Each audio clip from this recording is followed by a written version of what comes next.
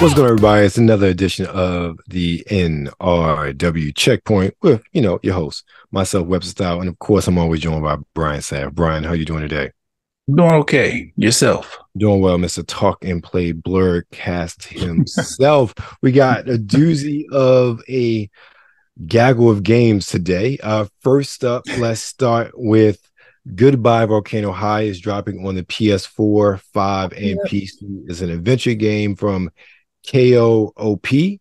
So, in Goodbye Volcano High, it's a game set in a world of anthropomorphic animals. The player character is Fang, a teenage dinosaur about to finish high school, trying to understand themselves and deal with various life problems. The game tackles profound themes of identity and transition as the characters navigate their final years of high school. The story's themes of are love, growing up, and change. Okay, so our we we're reliving our high school experience through the eyes of anthropomorphic dinosaurs. Okay. Yeah, pretty much. I think okay. I think that's what the kids like these days, dinosaurs and things. So right. I feel like I don't know if that's for the kids. I feel like that's for like Gen Xers reliving their high school days, wanting to go back because they they tired of bills and kids. yeah, work. I can agree. I, I, I feel like I feel like that's everybody. I, I well, I can't say I want to go back to high school. High school was a good time. I had I enjoyed myself. Same. But um I like being an adult. The bills are not fun. No, they're no. not fun. But what I've come to realize as an adult is um it's literally what you make of it. Like your choices decide whether or not you're gonna have a good adulthood or you're gonna be you know suffering. So you right. know you do it that as you will. Um whoever plays volcano high maybe maybe they'll impart that kind of lesson within the game. It sounds interesting though. yeah it does and we are watching the trailer so it'll be interesting to see what it's all about. Um, yeah i agree. Okay. Next up we have a sequel to a game that I never knew was coming out. if, you, if you remember the Dreamcast, the Dreamcast was known for having games with very wacky controllers. We had um, mm-hmm. um, our fishing rod with bass fishing. Uh, we had the little microphone attachment with Seaman. And of course, we cannot forget the maracas that came with Samba de Amigo. Well, Samba de Amigo has gotten a sequel on the Switch, and it is Samba de Amigo Party Central. The game is a sequel to Samba de Amigo, as I've already said, and um, it's one where players shake their controllers like a maraca on time with the shapes on the screen. In contrast to its predecessor, the game has less focus on Latin music and more on popular music genres in general. So okay. it's a it's basically it's taken what Samba de Amigo and crossed it with Let's Dance. Yeah, that's what it sounds like. So which it's not a bad cross now. No, not at all. But we're not watching the trailer because I think everybody gets the gist of how that game plays. right, right. it sounds uh, cool though. I yeah. like when they do those type of games like that. Very it does. interactive. It does me too. Samba de Amigo is one of those series that for some reason has persisted for 20 plus years now because Dreamcast yeah. came out in 99. Yeah. Mm-hmm. And and shout out to Sega for being ahead of their time, man. Yeah. They did have some crazy attachments for the little Dreamcast. Oh, yeah. I remember those things. What was the little screen you could plug in? You plug it into Oh, the uh the box with uh, virtual uh, memory card. Yeah. Dude, let me tell you, Dreamcast, like I used to take my VMU to class with me and just like feed my child and whatnot for Sonic Adventure, like while I'm in class or throughout my day when I was in college. Like I remember that distinctly doing it because it was just it was so fun and cool. And then there were like Smart. other games. I forget there were a couple other games which you could download like a mini game onto the VMU. Mm-hmm. Like that was mm-hmm. that was such a novel innovation. I, it was, and I don't remember the price of them.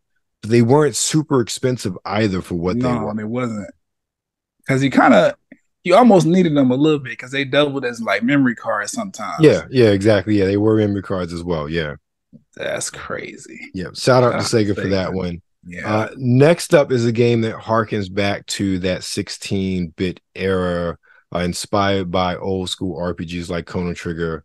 We have Sea of Stars, and it's out on a PS4, 5, Xbox One, S, XPC, and Switch. But also, and this is, I believe, is the first game to ever debut on both Game Pass as well as PS Plus. I think it's uh, the middle tier.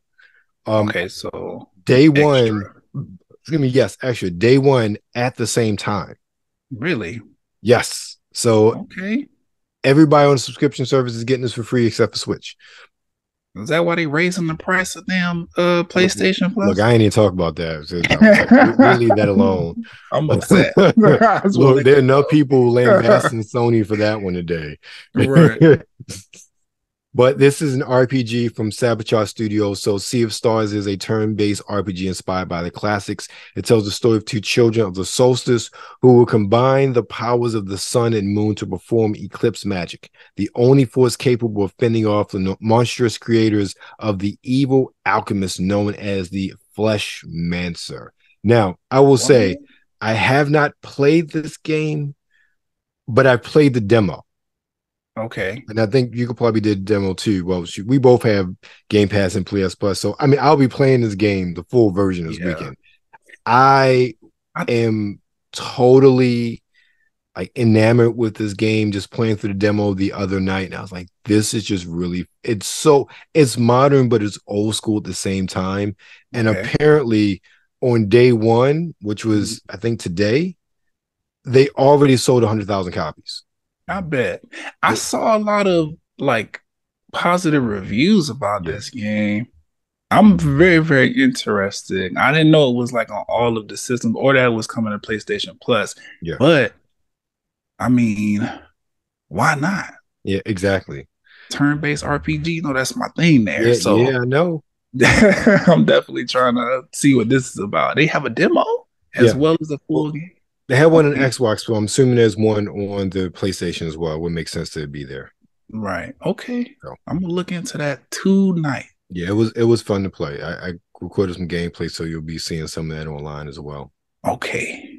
So, all right. Next up, we have Under the Waves, which is PS4, 5, Xbox One, SX, and PC, an adventure game from Parallel Studio as the developer and Spotlight by Quantic Dream as the developer, as the publisher. I actually like that name for a, a publisher.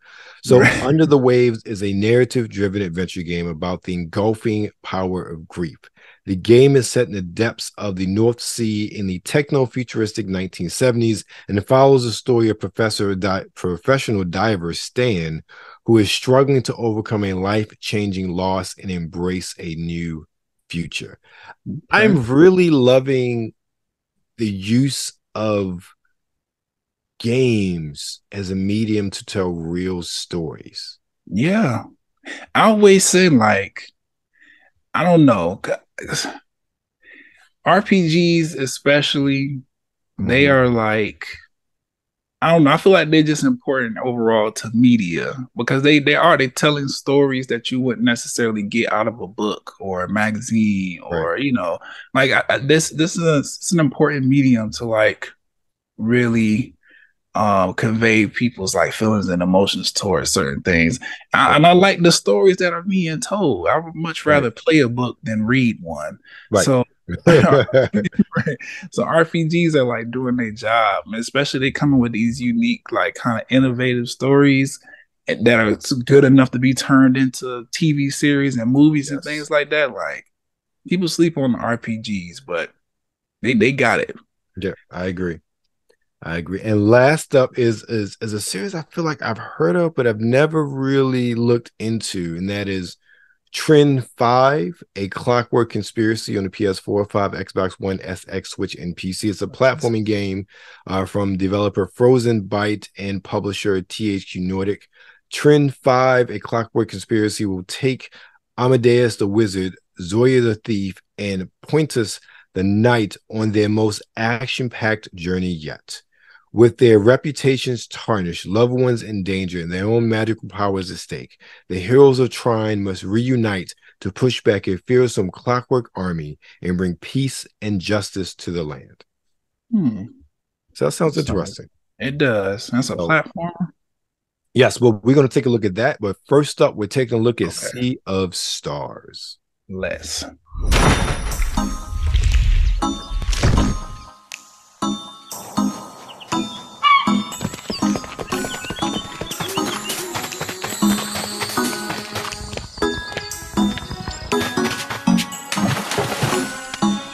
The things that like, you really hear from this this trailer, uh, sound effects are just on point. Yeah, I was just about to water splashing. Yeah. Um, I, I, love the battle system as well. I played so far.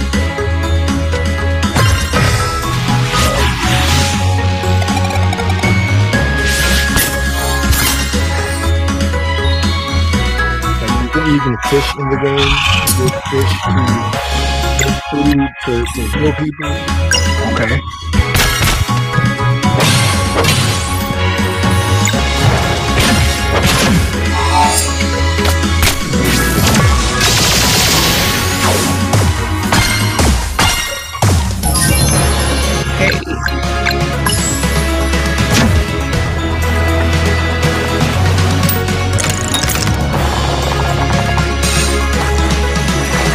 Official.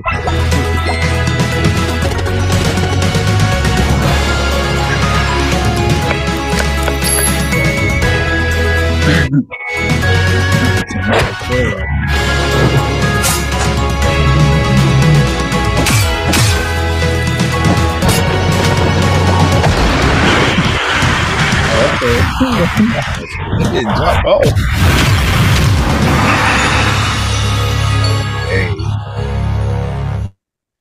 Yeah, want to play.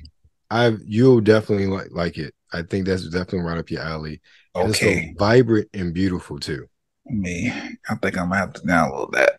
Yeah. Wait. Okay. When we finish. All right. yeah. That's uh, that. Just looks like a good like. It looked like it has a level of difficulty to it, but it looked like it's also a level like some type of peace and ease to it. That's just what I get from it. Yeah. It, I agree with you. It is very colorful and vibrant. I do pick up. I did pick up on those like sound effects and things like that. I'll this yeah, I'm gonna check that out. Because... Right. Yeah, I agree. So next up we have Under the Sea. Good morning, Stanley. It is 7:32 a.m. I hope you have a productive day. Change username to just Stan. I'm getting very. Adjusting morning wake up. Good morning, just Stan. Base to Capsule 12, come in. You there, Stan? Oh, what was the Wes Anderson movie? Green across the board. Looks like uh, we're good. Oh, I forget. But this, this is a movie. Definitely a leak here, Tim.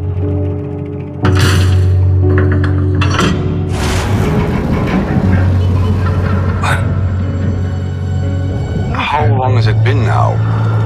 Three years, two months, and 17 days. Since when? Sort of been the water? Down here. He shouldn't be here. Someone there? This doesn't make sense. someone else down here.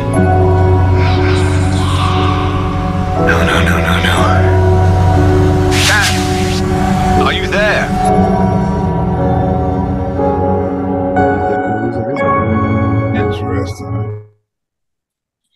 Okay. All right. That that definitely seems like a not just grief, but an exploration and isolation as well.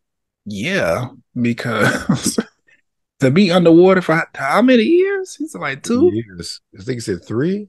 Okay. Yeah, it's a it got me at about 30 seconds. I'm ready to come exactly. back to land. Exactly. some land, wow. some sunlight. I need to take this helmet off. Right, exactly. Right. And it's interesting because this says the game is set in a techno futuristic 1970s, right. which, you know, the 70s are anything but futuristic.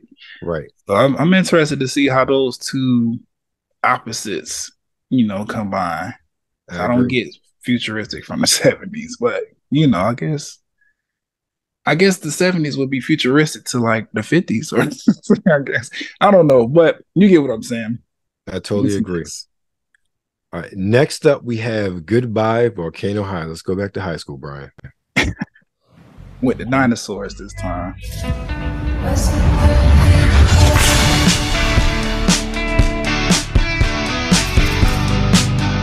Hey.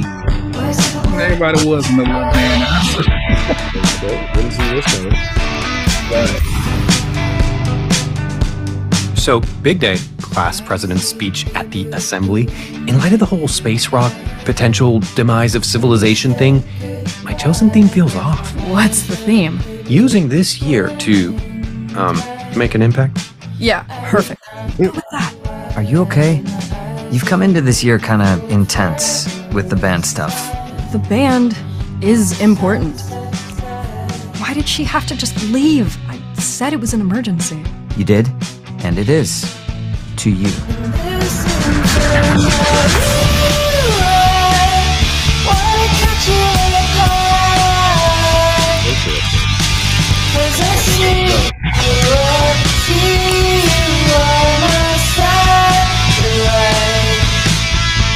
It's weird how everyone's acting like nothing is different.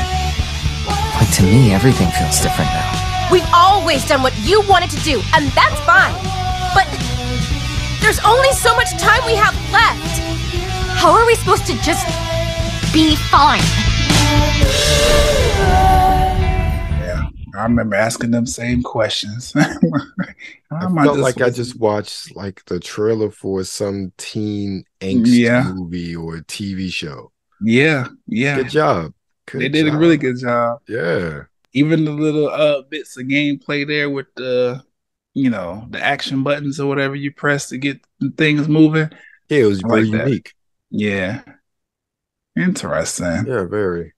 I'm just putting me in a weird place. I don't know if I want to play that game. Right. Well, I, back I I would want to watch it. It seems like a Yeah, yeah. show, so I want to watch it. Yes, there you go. Play. Eh, it's a little bit too close to going back. Well, look, for cool, me, that that seems far away from my high school experience. oh, okay. I mean, you think I, was- I I I graduated from high school what 26, 27 years ago now. So yeah, it's it's, Oh, okay, yeah. it's like ancient in, in modern times. oh, it's normal. People just exaggerate when it comes to time. no, look, technology wise, it's ancient. Oh yeah. Now see, technology wise, you didn't exist. We had beepers in high school, okay? When I was Which is school. crazy. Which is crazy. Because we have razors and those are like ancient now. exactly. That's funny. Uh, I remember when the first Android phone came, like the very first Google Android phone. Google G1. out. Yes, My my spouse had it. Yep. it was revolutionary. Yep. That's what's crap. now, wow. Okay. All right. Last but not least, we have Trine Five: A Clockwork Conspiracy.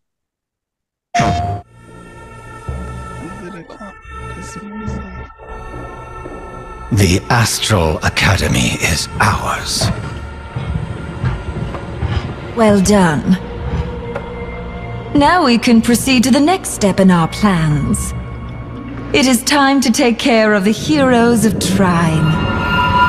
I that trend. I was hoping. This was is a story about the fabled heroes of Trine and their struggle against their worst enemy yet. For dark and ruthless powers were weaving their webs in secret. Why am I just hearing about this now? This is cool. They have my children! Lady Sunny, that cursed monster! And what's stopping me from firing an arrow through your lying face? My kingdom will have no use for the remnants of the old one. Not the wizards, nor the heroes.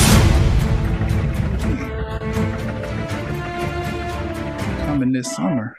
Oh, Okay. clearly, two of these games were delayed. Right. from the original- well, technically, this is the summer, but I think uh, what Cowboy, not Cowboy, what Cowboy. Um, thinking about what we just recorded earlier. Uh, Goodbye Volcano High. They had like a June fifteenth or something date on the trailer we saw, so it certainly got pushed back. But How have I not heard of the Trine games before? That looked pretty I cool. don't know. Me either. I'm I'm sitting here wondering that as well. It looks great though. Yeah. Like I'm looking at this, I'm like, okay, this is definitely a platformer.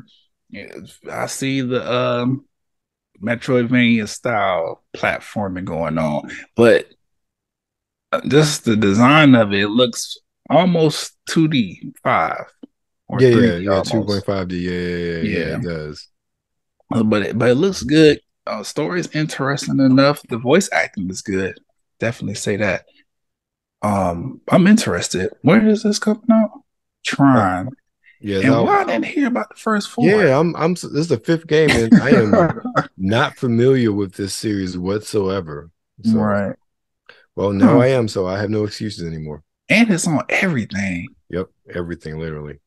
Interesting. Okay. right. So, uh, Brian, what, what's going on with you this week, man?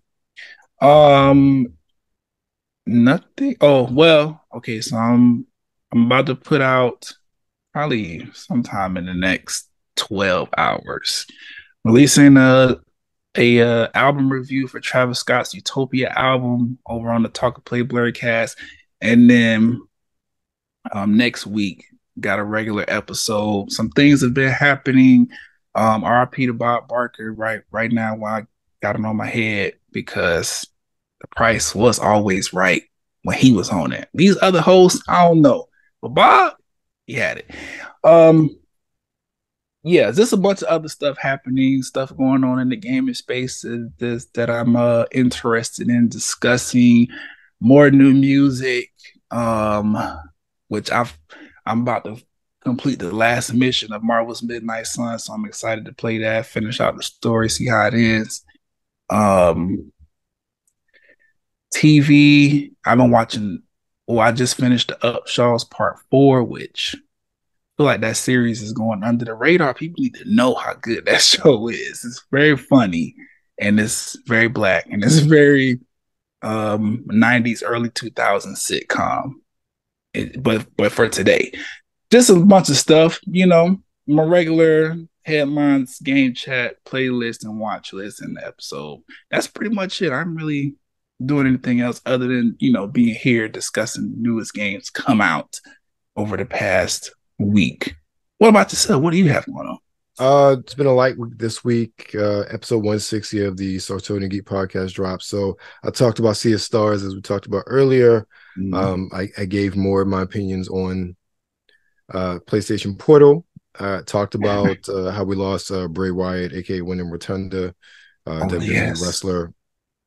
And then my interview with uh, George Zaharoff dropped as far as the audio version, uh, maker of Zaharoff uh, perfumes, um, fragrances. So also dropped uh, a whole bunch of game bites over between uh, my channel as well as uh, NRW. You can see all of those there, talking about Broforce, talking about Trek to Yomi, both on uh, Webster Style YouTube as well as NRW YouTube. So all that dropped uh, this week as well.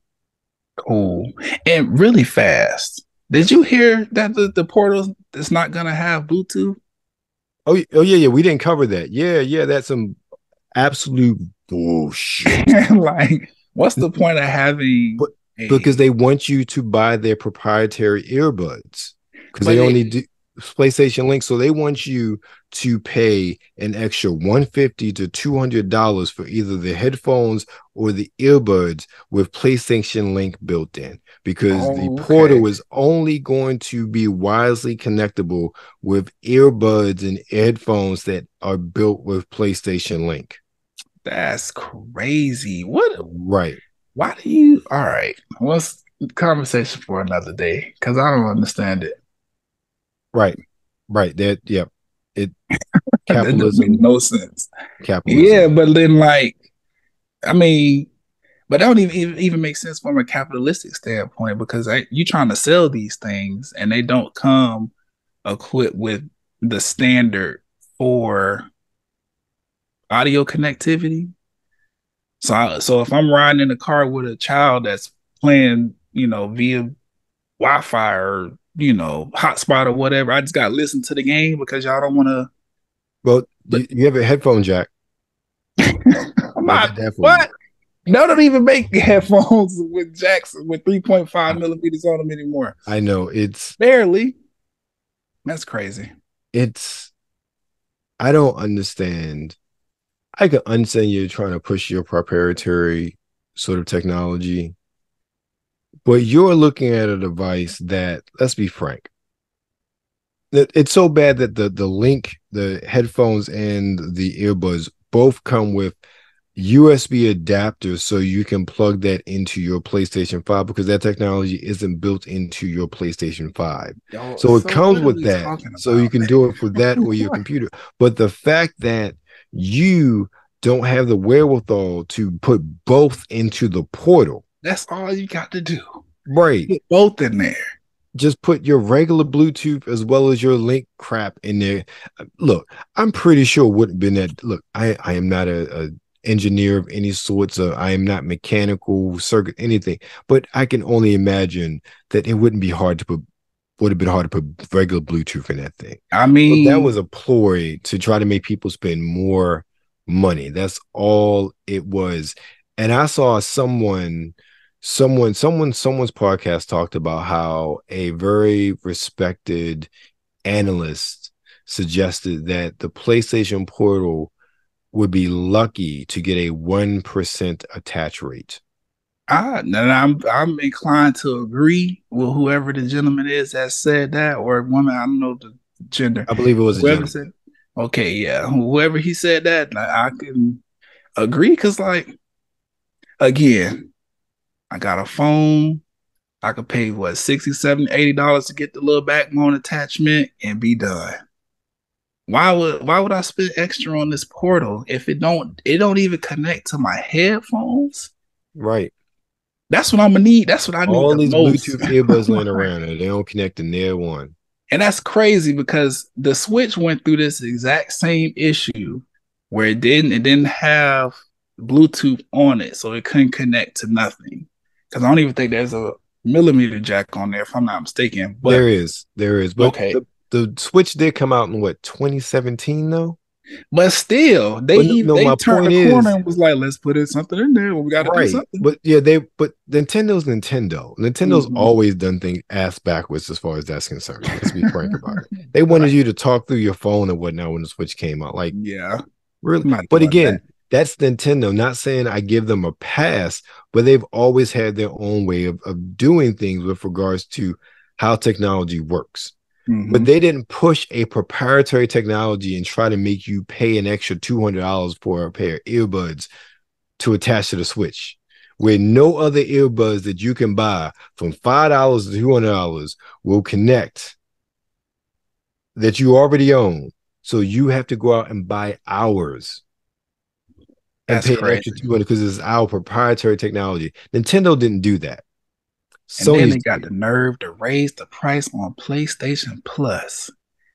Y'all, you, you know, I thought about it too. I, I, listening to all of that, I know Xbox uh, Game Pass Unlimited. It went up from fourteen ninety nine to sixteen ninety nine. So that's two dollars. But that, yeah, that's as monthlies. That's the equivalent of what twenty four bucks.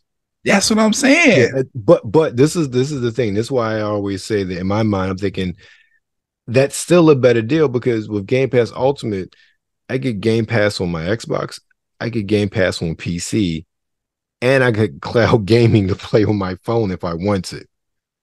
Meanwhile, so I feel like that's a like I'm well, first of all, I already told you I do my best not to pay for Xbox Live, um Xbox um Unlimited as you should. Game Pass Unlimited. I, I do my mm-hmm. best every month. I'm racking my points up so I don't have to pay. Understood. But I still feel like it's sixteen ninety nine a month or whatever it equates to in a year. Mm-hmm. You get, especially if you're somebody who utilizes it like that, you'll get your money's worth out of it. I get my money's worth out of it. Right. Hearing that PlayStation Plus all tiers are jumping by 33% with no extra benefits. Y'all don't even have cloud gaming. And, and don't want it. Really? After this, they could put me back on uh give me the old PlayStation Plus back. And you don't Y'all have day one games. I can sit here and say if I was paying $16.99 a month, I can sit here and say I am happy with that because, or if you charge me an extra 33%, so you charge me extra 40 bucks, okay, I know I'm playing Starfield day one next week. I can take solace in that. So I can say, you know what? That's the equivalent of me buying Starfield or something like that because of the the extra perks of a game pass. The fact that Sony trying to do y'all dirty all the way around, and I don't understand why. and I don't understand why because you you got we we buying the damn console. Look, let me. This is exactly the conversation they had with the whole Activision thing. Since Sony was the market leader, Sony has no recourse for being consumer friendly because they got y'all by the balls. Listen, I'll cut this damn PlayStation off. like, yeah, we got your money, mine. Brian. They do have money. it.